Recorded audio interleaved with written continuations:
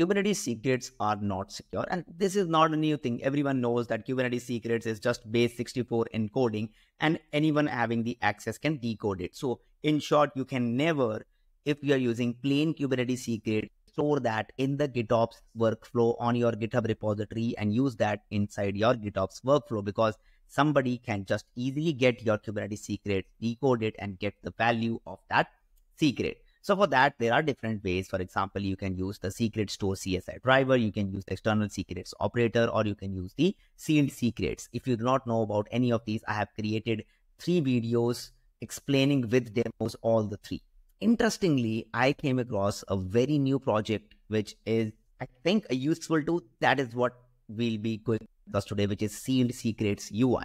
Sealed Secrets for Kubernetes provides a declarative way for Kubernetes secrets to be stored, encrypted, and put in the code repository. Then you can actually use that inside your GitOps workflow.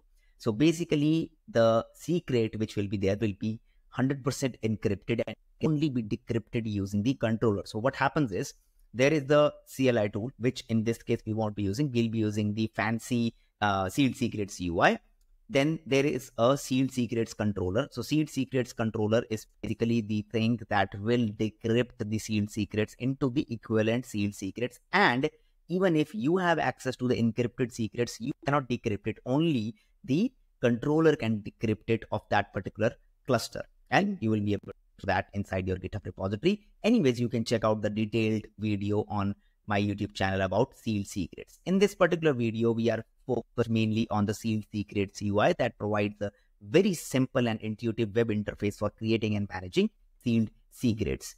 And simple UI, seamless integration. So if you have existing sealed secrets, you can install this deployment and service on top of it and make of the UI. Also intelligent management. So it checks all the existing secrets, appends that, appends the new value from the UI and avoiding the duplication. So let's do one thing. Let's first deploy the secret sealed secrets controller and use our favorite Killercoda environment for that. So kubectl get nodes.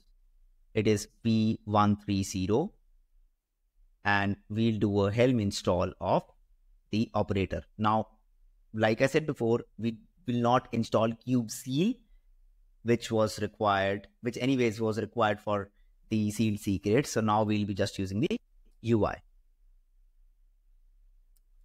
So let's Helm repo add and Helm install. So commands Helm install sealed secrets inside the kube system namespace. And you can define like uh, you can define these in the environment variables like what namespace it should look for because it has to get all the information. The UI has to get all the information from the controller and default is kube system, which works fine in our particular case. So it's done. kubectl get pods hyphen a and we can see our sealed secrets controller is running. Now what we'll do is we'll deploy the UI. So let's copy it. vi deploy YAML. Inside this, we'll just do 8080 instead of HTTP. So this won't work with HTTP. I can, I'll raise a PR later on. So kubectl apply hyphen f deploy and I will do the same demo that we did in the video when we learned about sealed secrets. So it's a simple deployment which is using MySQL root password. Like we are giving the environment variable MySQL root password and the environment is getting the value from the secret called MySQL secret with the key password. This is what we have to create. But what we'll do is we'll copy it and we'll apply this anyways. So cat eof kubectl apply hyphen so it will give the error. And you can see create container config error because the secret doesn't exist yet. Now we'll create the service for sealed secret. So visvc.yaml. And again here, we'll use the target port as 8080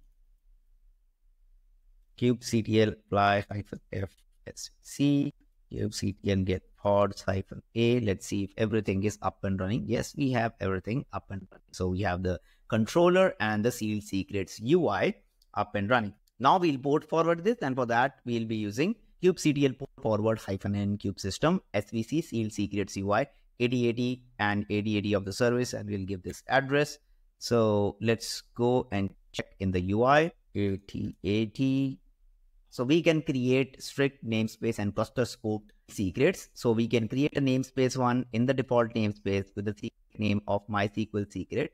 And we can give password as hello. So we get a YAML configuration. So this is the YAML configuration and this is the encrypted data. So this can be committed to GitHub repository as well. So we copy this, we go into the new tab, vi secret.yaml kubectl apply hyphen f secret and kubectl get pods. Let's delete this. kubectl get pods. And you can see the pod is now up and running. We can exec into it, kubectl exec hyphen it hyphen hyphen env and we can see MySQL root password have been created as hello kubectl get secrets. We can also see the secret got created. kubectl get secret hyphen o YAML. And we can see the base 64 secret that got created by the controller. So it got the encrypted secret, decrypted it, and created a Kubernetes respective secret for that. And we can check it, echo this base 64 hyphen D and that is hello that we created from the sealed secrets UI. So I think it's pretty fancy, pretty easy to create a, a sealed secrets UI. Now, yes, this project just, if you can see, like this project was just open sourced like yesterday itself.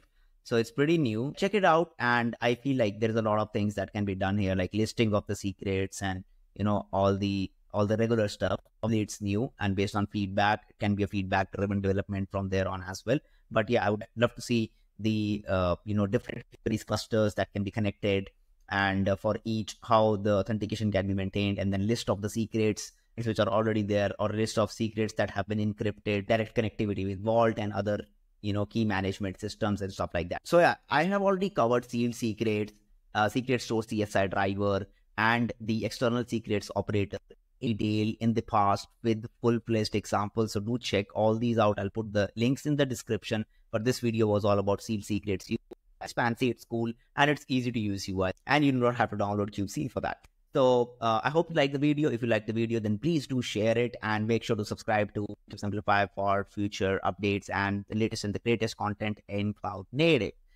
Thank you so much for watching and see you